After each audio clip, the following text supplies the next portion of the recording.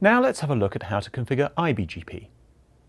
The first difference between IBGP and EBGP is that the peers are within the same AS. The second difference is that IBGP speakers do not need to be directly connected to each other.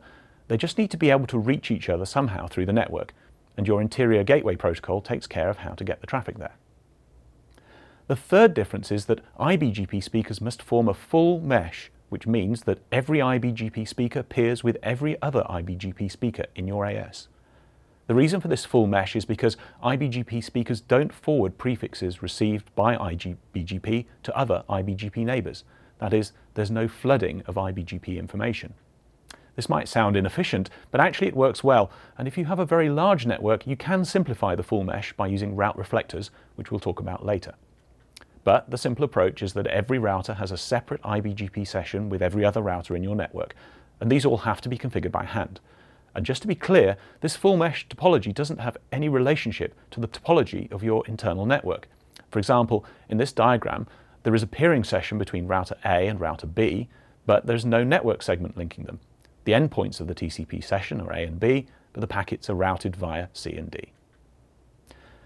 When you configure IBGP, you should use loopback interfaces for both the source and destination address of each session. This is because the loopback address never changes, even if the topology of your network changes or physical interfaces go up and down. We want the IBGP sessions and the full mesh to remain up all the time, regardless of topology changes. It's BGP's job to keep track of prefixes at the AS level.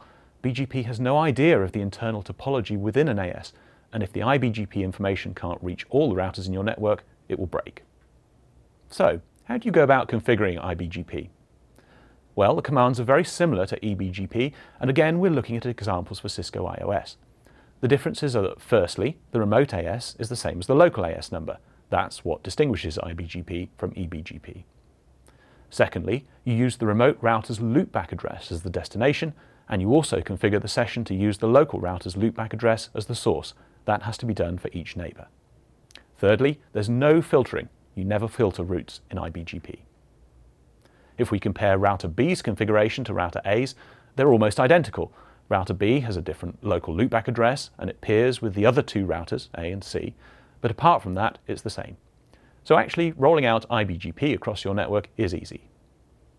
Finally, once you've configured IBGP, you can check the status using the same commands as EBGP, that is, show IP BGP summary for IPv4 and show BGP IPv6 unicast summary for IPv6.